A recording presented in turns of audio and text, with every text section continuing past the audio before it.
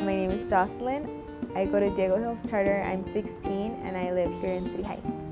We were talking about the AB 109 and I honestly, I just completely was just shocked because there is enough already people here that you know have criminal records because then there's gonna be those who have been here there's gonna be new ones coming in and it's just gonna completely just shake you know city heights you know you grew up here and you're raised here you grew up to be a tough girl. If you're a girl you have to be tough. If you're a guy you have to be tough. I can't think of a day that i walk out of my house and i'm walking to the park or wherever and i don't get harassed by a guy. It's um, something normal for me.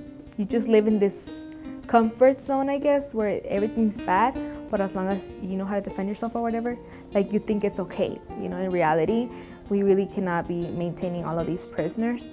But I just don't think it's a good idea for them to get released into the community. They might not be sex offenders, but they are like drug offenders and thieves. Maybe the crime rates are gonna go up in City Heights.